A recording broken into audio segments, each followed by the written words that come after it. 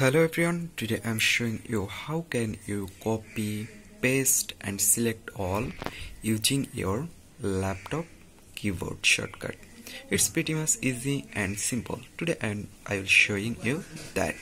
So first if you want to select everything or select all on your laptop screen you need to just press ctrl and a.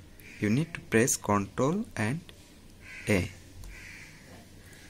then there you can see everything is selected.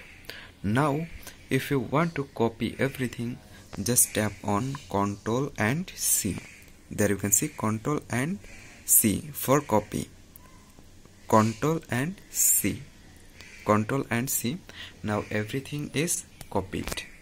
Now if you want to if you want to paste any anywhere like I want to paste here just tap on just press ctrl and v. Ctrl and ctrl and v.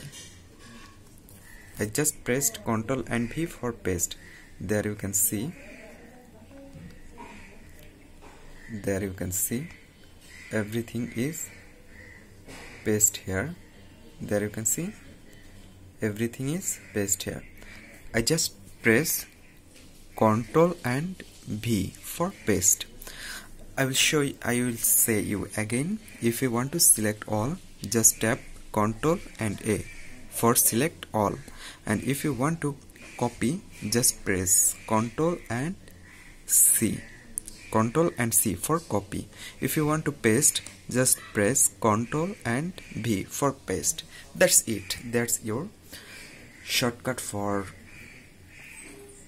copy paste and select all I hope you can understand. Thank you everyone for watching this.